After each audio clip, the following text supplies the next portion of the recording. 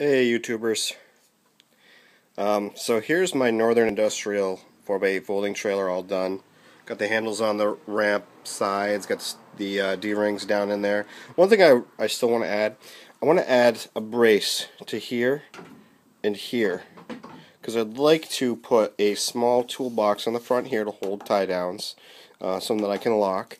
And on the top here, I'm going to put a rack that holds the uh, the Stihl, uh, you can't really see it very well there, the Stihl combi system um, line trimmer and pole saw and whatnot that I have.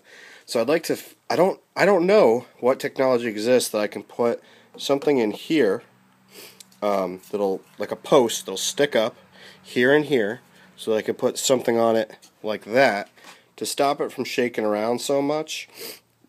I actually went and shaved off some of the bottoms so they'd be easier to take out and that actually once I I figured out, hey, you know what? I kind of want to carry my my um, handheld power tools around.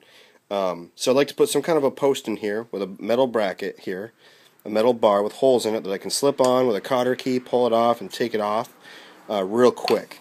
Um, but just so in transport, this doesn't shake so much. So any any information, any ideas, any technology, any thoughts would be greatly appreciated because I really don't know what's out there. So um, drop me a line in the comments or a link or, or whatever you need to do. Um, just inform me. Thank you very much.